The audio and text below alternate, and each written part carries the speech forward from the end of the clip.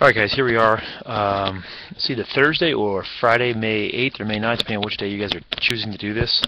Um, we're, we're, at a, we're at a point where we're starting to get some more complicated, uh, not more complicated, but a greater variety of formulas to choose from. So on your paper I gave you a little summary. Uh, the top half of your page is really a summary of formulas. And I want you to kind of go back and use this for your next you know, couple of homework assignments, studying for tests.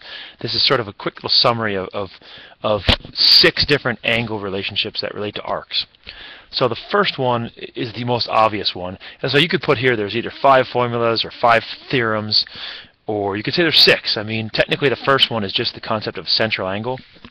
And of course, you guys all know how angle 1 and angle arc x are related to each other. That's the easy one. When this is at the center, when the vertex is at the center, they're just equal to each other. Done. Simple. The next one we already talked about. Of course, I think on your paper it says to describe what kind of segments are on there. That is created by two radii because they go to the center. The second situation was when we have these two segments on here, which of course you can look at and you can identify those. Write down what kind of segments they are. They're chords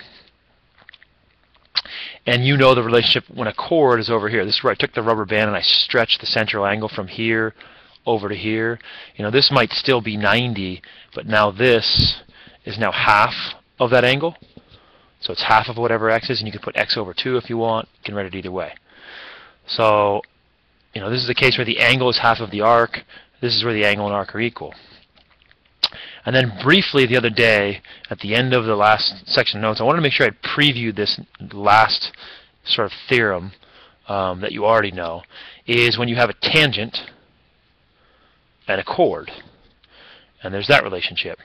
The relationship between angle 1 and angle x is exactly the same as this one.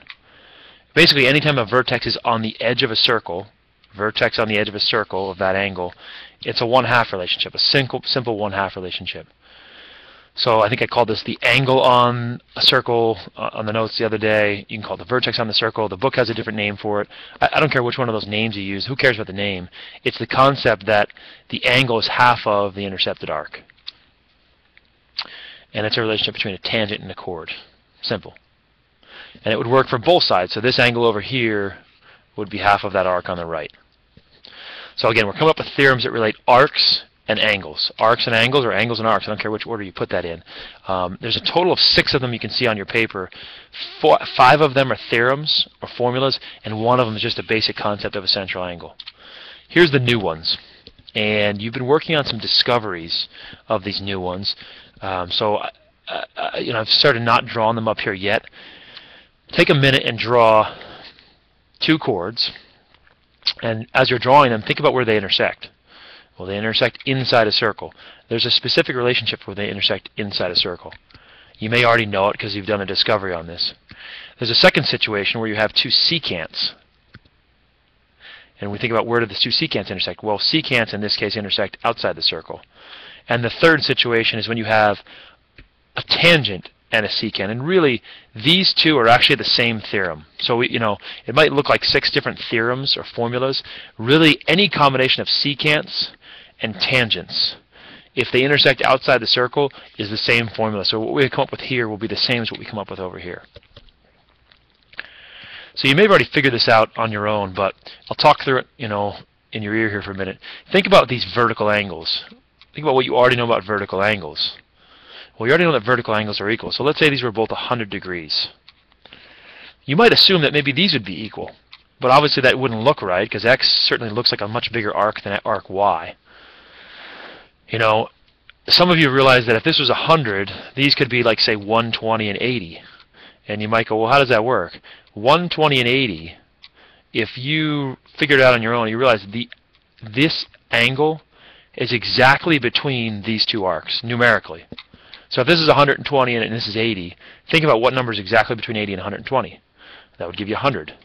And that, that is true for any vertical angles inside of a circle. Anytime two lines intersect inside a circle, the vertical angles are equal, are exactly between the two arcs. So if this was, say, 60 degrees, and this is 40 degrees, these would both be 50.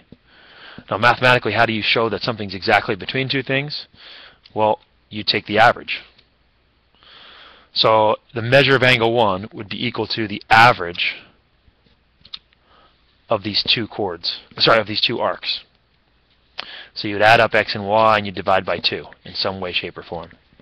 So there's sort of the one that I'm, i think a lot of you probably could figure this out on your own if you had numbers that are close. They weren't, weren't going to work out perfectly, but pretty close. And again, I don't care if you know the names, but the key word here is that this intersection is inside the circle. The key word here is the intersection is outside the circle. That's how you're going to pick these formulas when you're looking at problems. You're going, whoa, what's the situation here? You're going to ask yourself, where is the vertex for the angle? Is it outside the circle? Or is the vertex inside the circle? Or is it on the edge of a circle? Or is it right at the center? Is it a fourth option on there? So some of you probably probably didn't figure this out too easily on your own. I think on the, on your on your discovery, I had you do two tangents uh, to make it a little simpler so to look at. Basically, there's a relationship between these two arcs and this angle, and it's almost exactly the same as this one. If this was 100 and this was 60, this would be 20.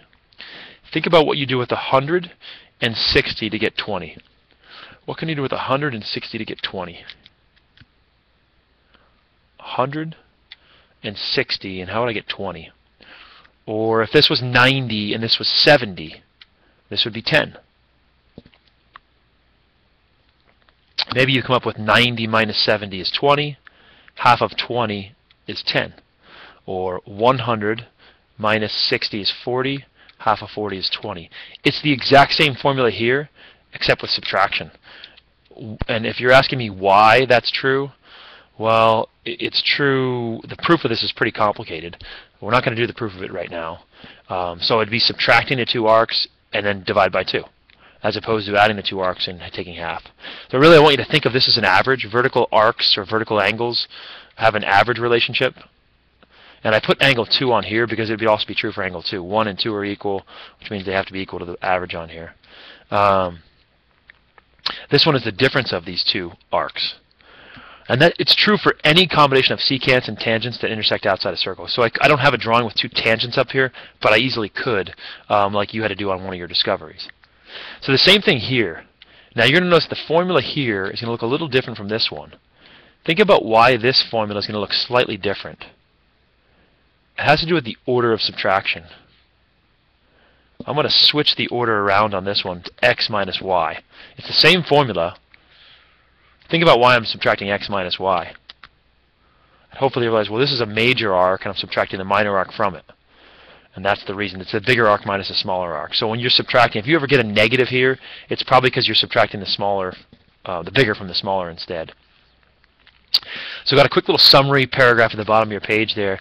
To select, to select the correct formula, what you're focusing on is where is the vertex. That's why I have the word vertex in here. Is the vertex inside the circle, is it outside of the circle? So I didn't give you a lot of room to write on your paper, but it's either inside the circle, it's outside the circle, or it could be on the edge of the circle, right on the circle. In, out, or on is the three choices. And you know the, the edge of the circle is the easiest one because it's just half. Inside the circle is the average. If it's outside the circle, you've got to do this subtraction thing and divide by 2. So I'm going to pause it here for a second, let you try these first example um, on your own. Try to find x, try to find y and I'll be back in a minute.